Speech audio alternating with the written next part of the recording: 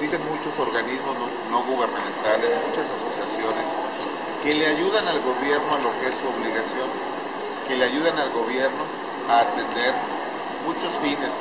especialmente de las personas que más lo requieren, en el caso del día de hoy, de personas con alguna discapacidad. Es por eso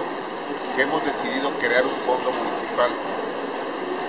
Este fondo municipal iniciará con 10 millones de pesos Fondo de Coinversión Social y tiene por objeto que entre las diversas asociaciones sean beneficiarias del mismo y que sea precisamente para resolver los problemas más urgentes de cada una de ellas.